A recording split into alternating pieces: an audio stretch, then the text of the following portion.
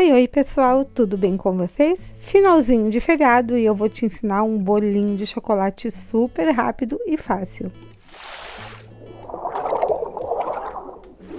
Aqui, gente, eu vou utilizar a batedeira, vou colocar quatro ovos inteiros, uma xícara de água, uma xícara de óleo e vou bater rapidamente para misturar.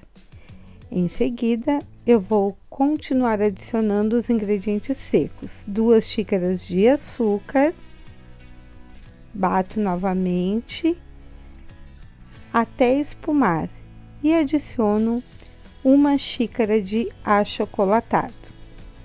Após misturar esse achocolatado, nós vamos desligar a batedeira e juntar duas xícaras de farinha de trigo peneiradas e para finalizar, Após misturar levemente a farinha com a massa, nós vamos juntar aqui uma colher de sopa de fermento químico. Agora você vai misturar bem levemente para que o fermento não perca a sua força e colocar numa assadeira untada e enfarinhada.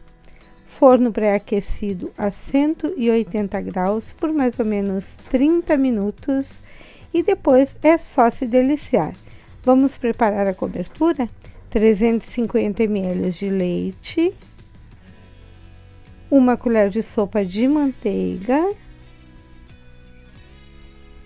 3 colheres de sopa de açúcar e 7 colheres de sopa de achocolatado.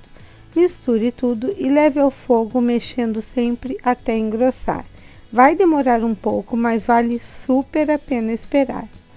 Fica deliciosa essa cobertura também com bolo de cenoura, gente. Olha a consistência que fica. Hum, agora é só despejar no bolo. Pode estar frio, pode estar morno, não tem problema nenhum espalhe por todo o bolo e é só se deliciar. Essa cobertura não cria casquinha, ela fica uma cobertura cremosa por cima, como se tivesse leite condensado, mas não tem. É uma delícia, eu até chamo de falsa ganache. Olha a fofura desse bolo. Espero muito que tenha gostado da dica de hoje. Se gostou, compartilha na rede social aí, inscreva-se no canal Segue no Instagram, arroba Cozinha Rápida e Fácil. Beijos e até o próximo vídeo.